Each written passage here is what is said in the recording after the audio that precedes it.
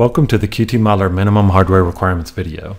There are six hardware components to consider when evaluating a workstation or laptop for QT Modeler use. First, QT Modeler is a standalone application that requires a Windows operating system. QT Modeler will work with any available Windows OS, but 64-bit will enable loading more data and faster processing, so that's what we recommend. Second, and perhaps most important, is the graphics processing unit known as the GPU. QT Modeler requires discrete graphics with OpenGL 3.1 or newer. OpenGL is the graphics processing language. We recommend OpenGL 3.3 or higher running on an NVIDIA or ATI GPU. If 3D display output is required, quad buffered stereo is also required. Third is system memory, also known as RAM. QT Modeler will load 3D data into memory prior to display, so having more RAM means you can load more data. We recommend a minimum of 4 gigabytes, but encourage users to configure their systems with as much RAM as possible. Fourth is storage. While there is no hard requirement, QT Modeler will write temp files to the hard drive during processing and exploitation, so we recommend a bare minimum of 10 gigabytes and prefer to see 100 gigabytes or more. Fifth is CPU. Any modern CPU will suffice, but multi-core fast processors will speed processor-intensive tasks and take advantage of the multi-threaded functions that exist in QT Modeler. Lastly is display.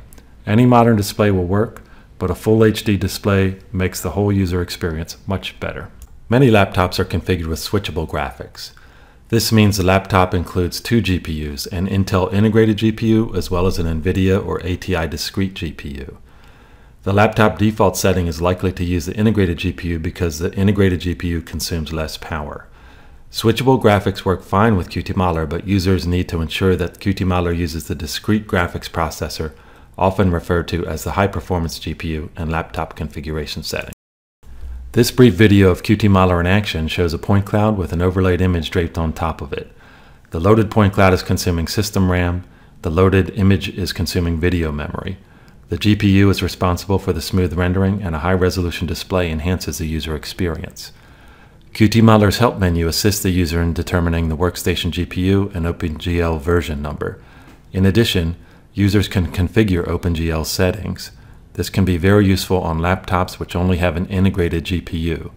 Although not ideal, QT Modeler will actually function with an integrated GPU, especially some of the newer Intel chips, such as the HD 4000 and newer. Some advanced OpenGL functionality may need to be configured to support these integrated GPUs. This has been an overview of QT Modeler's hardware and system requirements. If you have any questions or need help, please give us a call or email us. We'd love to hear from you.